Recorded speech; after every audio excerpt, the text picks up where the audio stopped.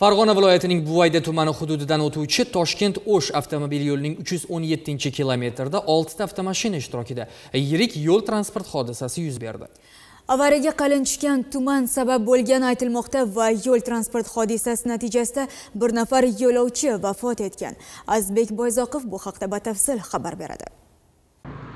Shu kunlarda ob havoning keskin sovib ketishi natijasida yo'llar muzlab qalin tuman bilan qoplanyapti. Bu esa haydovchilardan ehtiyotkorlik va hushyorlik bilan harakat qilishlarini talab etyapti. ikki ming yigirmanchi yilning o'n birinchi dekabr kuni kunduzi taxminan soat o'n o'ttizlarda farg'ona viloyati ichki ishlar boshqarmasi yo'l harakati xavfsizligi boshqarmasi navbatchilik qismiga kelib tushgan xabarga ko'ra toshkent o'sh avtomobil yo'lining uch yuz o'n yettinchi kilometrida aniqrog'i buvayda tumanining yangi qadam qishlog'i hududida yirik avtoavariya sodir bo'ldi. Yo'lni qalin tuman qoplaganligi tufayli tufayli oltita avtomashina birin ketin to'qnashib ketadi. Natijada isuzu rusumli avtomashina yo'lovchisi voqea joyida og'ir tan jarohatlari olib vafot etadi.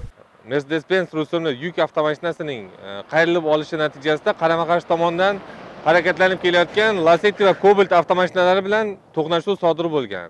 To'qnashuvdan keyin lasetti va cobalt avtomashinasi bilan bir yo'nalishda harakatlanib kelgan men rusumli treyler ya'ni avtomashinani tashish uchun moslashtirilgan э, avtomobil yo'l qatnov qismining qarama qarshi tomoniga harakatlanib chiqib э, qarama qarshi tomondan harakatlanib kelgan э, isuzu rusumli yuk avtomashinasi bilan to'qnashuv sodir qilgan. To'qnashuv natijasida isuzu avtomashinasining yo'lovchisi e, hodisa joyida vafot etgan.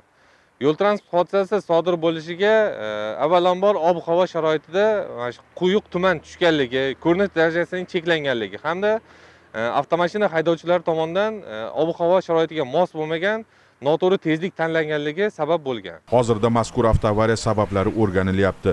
Yo'l qoidasi umr foydasi ekanligini unutmang. Azizbek boyzoqov farhodjon nishonov farg'ona yoshlar.